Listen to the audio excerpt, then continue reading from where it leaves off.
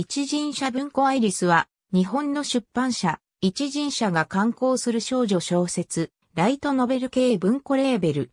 2008年7月19日創刊。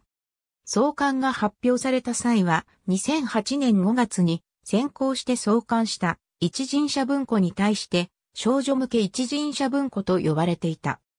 なお、姉妹レーベル一人社文庫の英訳名称が一人社ポケットエディションであるのに対し、本レーベルは一人社ポケットエディションアイリスでなく、一人社ノベルズアイリスとなっている。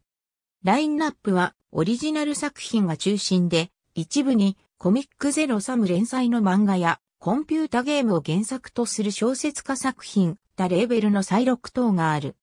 新人賞、一人社文庫大賞は、一人社文庫と共同で第3回まで部門別に行っていたが、ニュー、ジェネレーションアイリス少女小説大賞に独立リニューアルされている。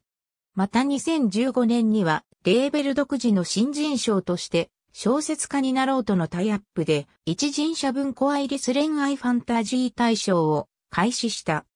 小説家になろう、作品の書籍化だけでなく、以前からオンライン小説を一人社文庫アイリスで出版することがままある。サブレベルのアイリスネオが2015年に創刊された。ありがとうございます。